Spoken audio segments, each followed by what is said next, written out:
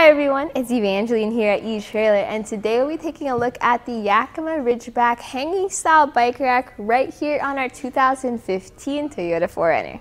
So the Yakima Ridgeback is a nicer hanging style bike rack than some of your other hanging style bike racks out there. We have some different features on there that make it a little bit more premium, a little bit more comfortable for your bikes. But the best thing about it is the quantity of bikes that you can carry. This is a four bike version, but you can also get a five bike version, which is very impressive. So if you have your 4Runner filled with your friends and your family, and you all want to go for a bike ride, you might want to consider this bike rack. Whether you have the 4 bike or the 5 bike version of this bike rack, you are still limited by a 150 pound total weight capacity. So that's a total weight capacity. If you have a slightly heavier bike on this end and your lighter bikes at the end of your bike rack, perfectly fine as long as you do not exceed the 150 pounds. So let's take a look at the way our bike is mounted to this bike rack. We have three mounting points. So one, two, those are for the top tube, and down here for our seat or our seat post. So this works as kind of your anti-sway cradle. If you have that fully tightened down, you can see how much sway we have now. And when you want to take your bike off, this is where you start. press those levers and pull it out and see the difference we now have when it comes to sway. While I still recommend tightening down or using a strap for your front tires, this is helpful to reduce bike to bike contact. So let's take these other zip strips out. And I like how they're called zip strips because it's very accurate. You just press those levers and you pull the strip straight out a lot quicker than if you had rubber straps. But once those are off, you can then lift your bike up, bring them through the arms, and then you're ready to go on a bike ride. So one thing about having a hanging rack though on your 4Runner, especially this one since it is kind of on the taller side, is that you're gonna have your bikes all the way up here too. So seeing where our window is on our 4Runner, this may be an issue when it comes to visibility out your window as well as the ease of use of loading and unloading your bikes. Just something to think about. This anti-sway cradle can be folded in when you're loading your bikes to make it easier to use, then fold it out when it's ready to load your bikes.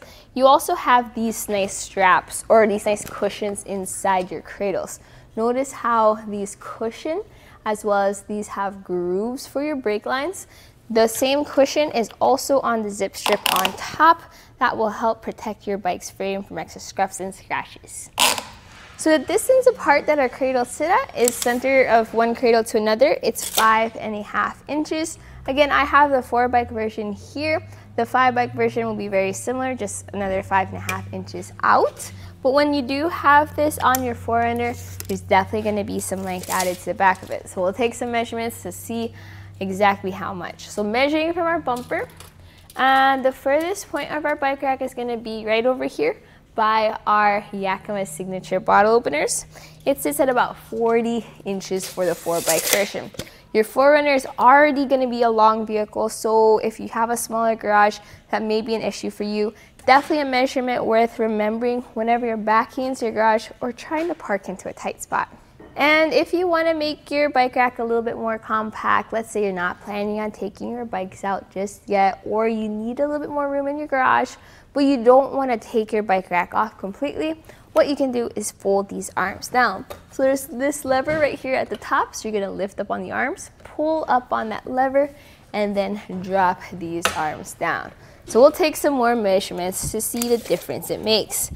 Um, from our bumper to the end of our bike rack, it now sits at only 15 inches of length added to the back of our vehicle, so big difference compared to when the arms were up. So if you need to grab something from your hatch real quick, since you do have a 4Runner, it's nice to know you can just lower your windows just to grab it.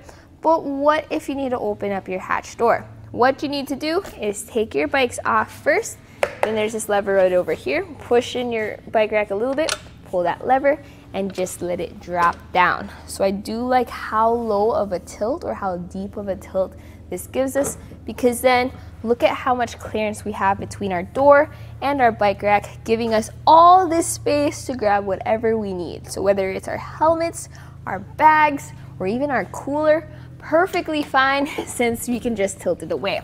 One thing to remember is you do have to take your bikes off to do so though, so it will take a little bit of extra time. With it folded up like this, let's talk about how it fits behind our vehicle. So it does sit up a little bit above our emblem, so we do see this in our rear window. Still not gonna be a big deal because you have a really large visibility back there. Obviously, our taillights are visible.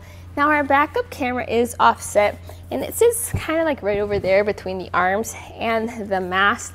So you're definitely gonna see your bike rack in your backup camera. You'll also be able to see a little bit around it, but it may be an issue for you, especially if where you are requires that your license plate be visible at all times. Know that it does kind of cover your license plate. And let's talk about how this fits into our hitch. So this has a tool-free install. You just pop it into your hitch and then put this security pin into place. It's kind of your last resort fail-safe pin.